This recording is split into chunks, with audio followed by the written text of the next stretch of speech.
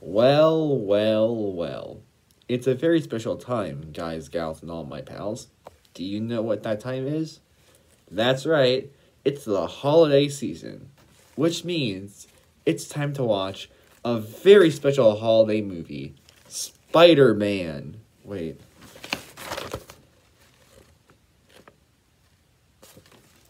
Huh?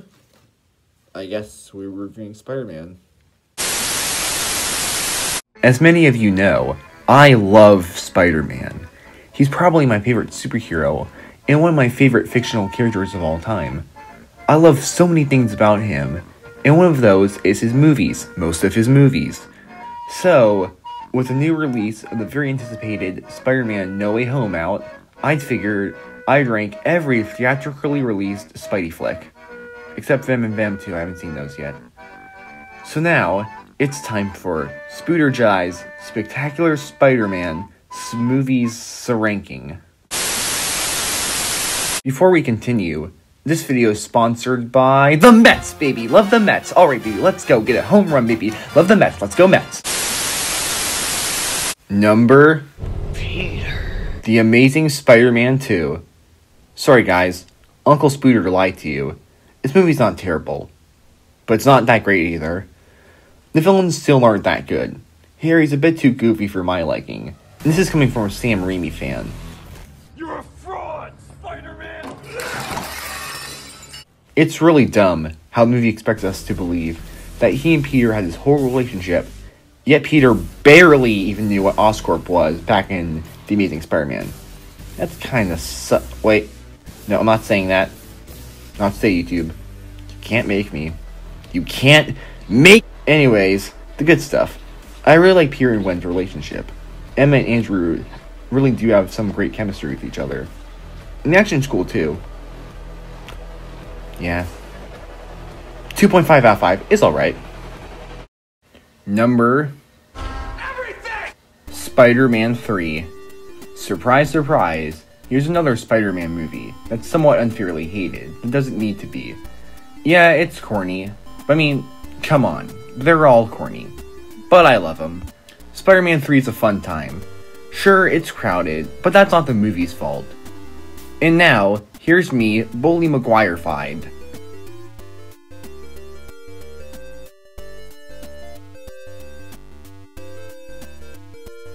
Yeah. 3 out of 5. Number Tony Stark! Spider Man Far From Home. Fun fact when I went to go see this movie with my best friend, our tickets just said Spider Man Far, so we put a T at the end and called the movie Spider Man Fart. This movie is not bad, it's just not as good as some others. I feel like some of the comedy could be toned down a bit more, especially since this is a aftermath of a pretty big event. 3.5 out of 5. Number Poor Peter Parker. The Amazing Spider Man.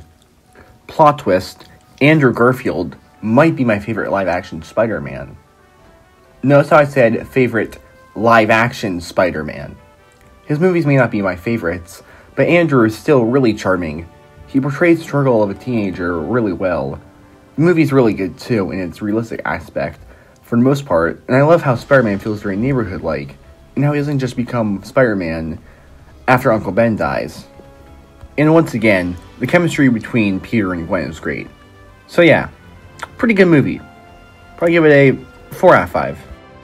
Number Scientist. Spider-Man. The first Spidey flick is a very good watch. It's very simple, but I think it works in that way. It's just a simple story of a young man learning to be a hero while falling in love and dealing with an evil supervillain.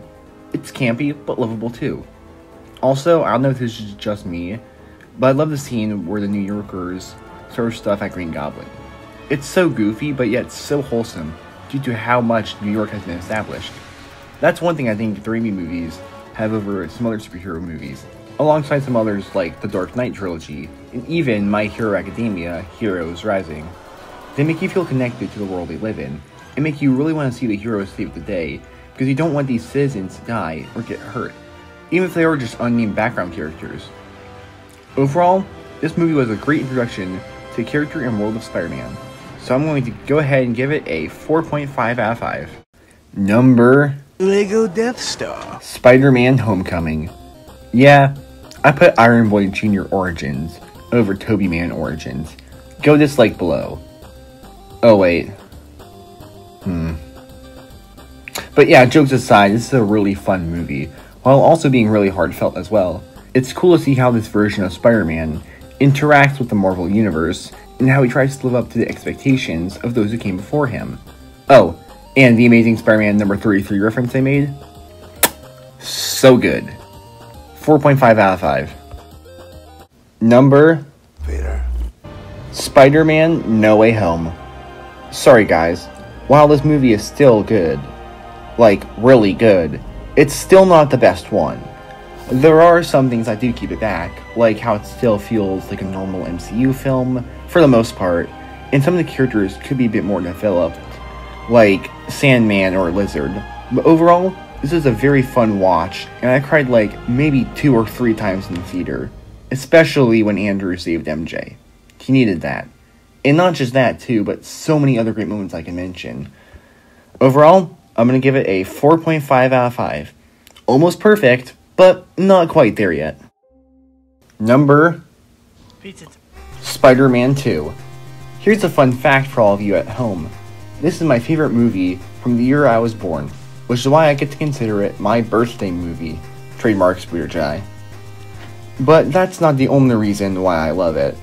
This is not just a great superhero film, just a great movie overall. Sam Raimi captures the struggle of Spider Man so well that makes you question whether being Spider Man is really as great as it seems. The film is also very inspiring too, showing how even when we hit our lowest points, we can always rise again. Also, my favorite part in this movie is not the train fight. But what is it? Well, I'll let you try and figure that out in the comments below. I'll pin you if you're right. Overall, I'm gonna give this movie a score of 5 out of 5, baby. And coming in at number 1, Spider Man Into the Spider Verse. I mean, how could it not be? This movie is just such a masterpiece that actually kind of shocks me. Like, legit. Sometimes I just refuse to believe it exists because I'm just so proud of Sony, Phil Lord, Christopher Miller, and the rest of the team behind this masterpiece for creating this movie. I know I said masterpiece twice already. That's really what this is a masterpiece. The characters, the story, the emotion, just almost every part of it is just so perfect.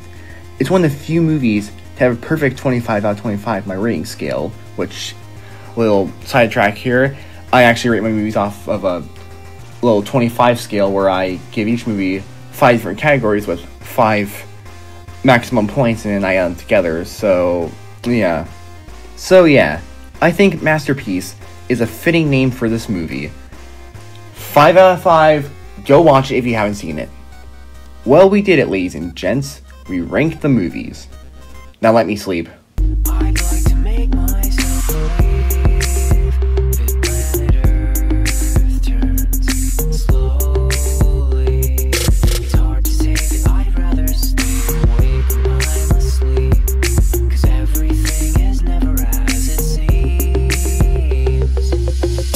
Also, Josh Keaton is my favorite Spider Man.